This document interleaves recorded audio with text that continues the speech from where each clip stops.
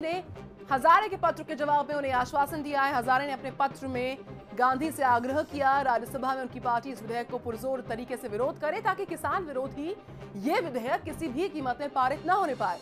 उन्होंने कांग्रेस अध्यक्ष को लोकसभा में इस विधेयक का विरोध करने पर धन्यवाद दिया और कहा कि उनके साथ साथ संपूर्ण विपक्ष ने इसकी खिलाफत की, लेकिन सरकार ने बहुमत के बल पर उसे पारित करवा लिया। गांधी ने अपने पत्र में कहा, अपनी चिट्ठी में ज़िक्र किया इस बात का, मैं आपके विचारों से सहमत हूँ कि एनडीए सरकार की तरफ़ से लाया गया अध्यादेश और उसके बाद फिर पेश किया गया विधेयक किसानों के हित में बिल्कुल भी नहीं है।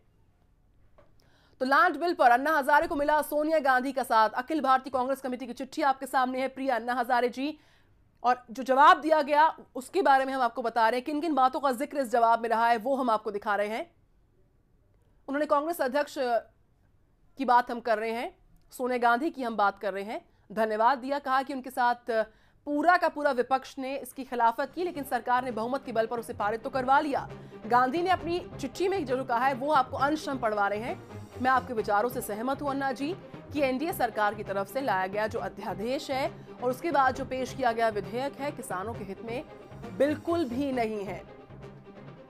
हर जगह लैंड बिल का विरोध होता हुआ विधेयक किसानों के हितों में नहीं है। सोनिया गांधी ने समर्थन का हाथ बढ़ाया।